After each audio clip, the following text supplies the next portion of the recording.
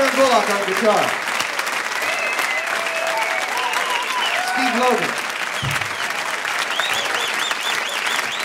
Tony Smith on drums. Steve Scales on percussion. And Ricky Peterson on keyboard. It's been a great audience. Thank you very much.